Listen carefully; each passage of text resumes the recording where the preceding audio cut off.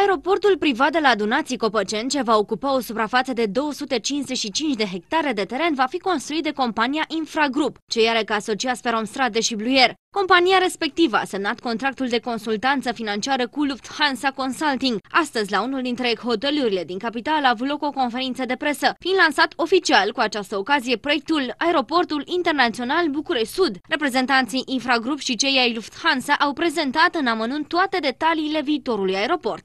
Acest aeroport nu, e, nu va fi construit doar pentru operarea companiilor low cost.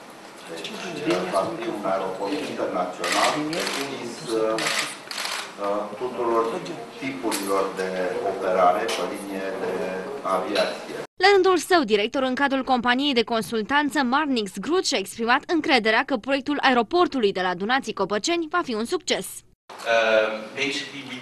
Vom pregăti un plan de afaceri pentru aeroport în ideea găsirii unor investitori pentru acest obiectiv. Vom face un studiu de fezabilitate, o prognoză de trafic. Pentru noi e clar că București are nevoie de un al doilea aeroport, așa cum au toate marile capitale europene.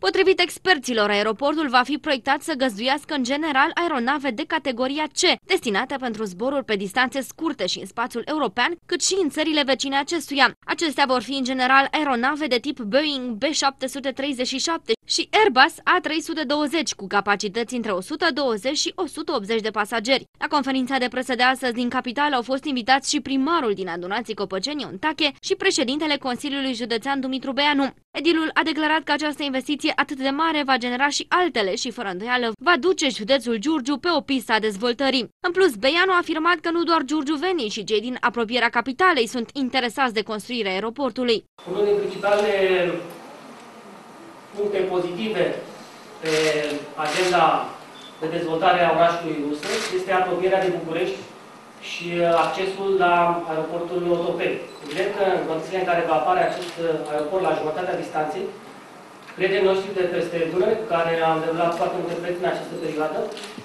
și cu care suntem deja foarte apropiați, privesc la rândul lor cu ochi foarte bun apariția acestei, acestui aeroport.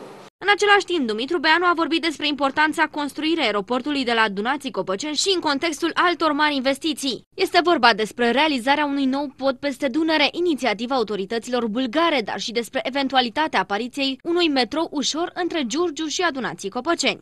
O zonă cu un uh, caracter internodal în uh, Adunații Copăceni și 1 decembrie, care să reunească transport uh, pe cale ferată, transport aerian, transport rutier și dacă domnul Sorin Opescu va găsi toate soluțiile pentru finalizarea canalului București-Dunăre, putem uh, adăuga și uh, transport pe apă, transport fluvial.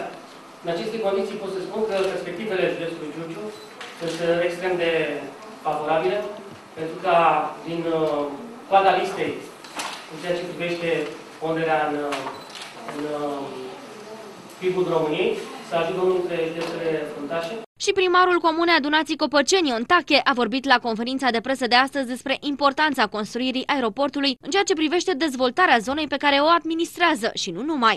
Odată construit aeroportul va duce la dezvoltarea zonei. Să nu mai gândim de faptul că se estimează ca în următorii ani să se uh, creeze circa 2000 de locuri de muncă. Ba mai mult, avem o oportunitate de curând uh, apărută. Uh, unul din descendenții familiei Miraminovici. A venit un grup de firme și a ajutat, după câte am primit informații și de Departamentul de Stat, vor să construiască un spital de 5 stele în apropierea aeroportului. Deci există perspectiva ca zona de sud, care este o zonă astăzi săracă, să se dezvolte, așa cum Construirea aeroportului de la Dunații Copăceni se dorește a fi făcută în mai multe etape, fiind estimată o perioadă de 30 de luni de realizare. Deocamdată, investitorii vor trece la faza de studiu de fezabilitate și a documentației tehnico-economice. Aeroportul va avea o singură pistă cu o lungime de 3200 de metri, fiind estimată o capacitate de 2 milioane de pasageri. Investiția se ridică la sute de milioane de euro.